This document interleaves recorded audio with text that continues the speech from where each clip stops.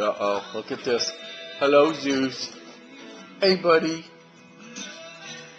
You sleeping down there? Daddy's doing more videos. Are you tired? I love you, buddy. Okay, here we are. Question number 27. We're asked to take this equation, 2x squared plus 5x plus 7 equals 0, and to solve it algebraically. Now, the directions solving algebraically simply mean that you should not be doing this on your calculator by using the zeros.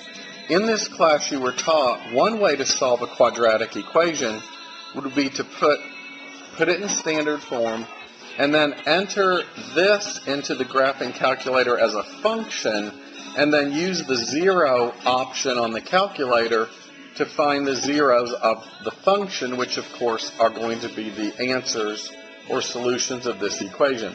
The minute I tell you algebraically, it means no calculator, you know, in terms of how to solve it. So when I have a quadratic equation that I'm trying to solve, I always tell my students to try to factor it first. Put it in standard form, see if factoring is appropriate. Because you're certainly not going to use the square root property here since there's a middle term. That's not going to work. And I think you'd find out after a while factoring is not going to work here either. So you basically have two choices remaining. Completing the square, which here would get a little nasty, because if you divided by 2, the middle coefficient would become fractional, then you'd be working with lots of fractions. I personally would jump right into the quadratic formula. A is 2, the leading coefficient is 2, the middle the coefficient of the middle term is 5, and the constant term is 7. Okay, once it's in standard form, which it was, you can determine A, B, and C. Remember the quadratic formula. X is equal to the opposite of B plus or minus the square root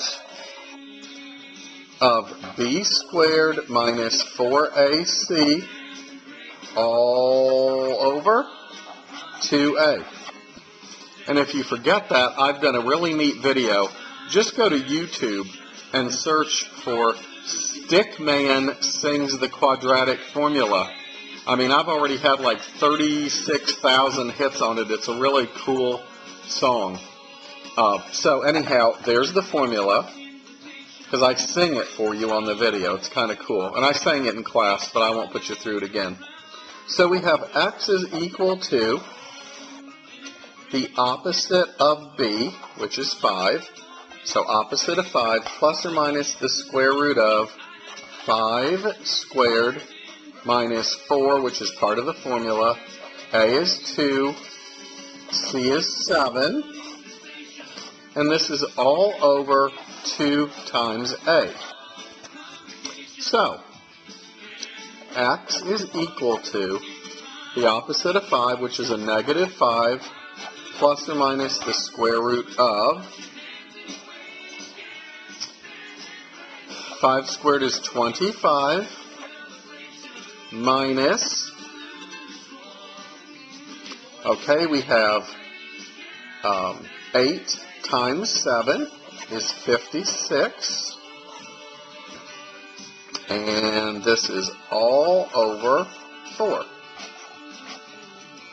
So, continue. x is equal to a negative 5 plus or minus the square root of and let's see, 25 minus 56 is a negative 31. And this is all over, ooh, all over 4. And remember that when I have a discriminant, some of you may not have been taught that, but the quantity under the radical in the quadratic formula is referred to as the discriminant. My discriminant here is negative 31.